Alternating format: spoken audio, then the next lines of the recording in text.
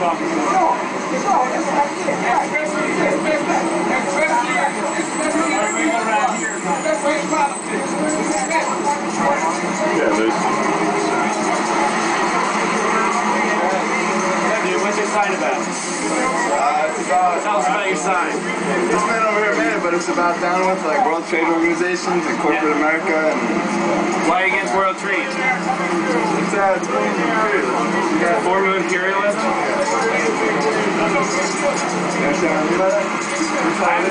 You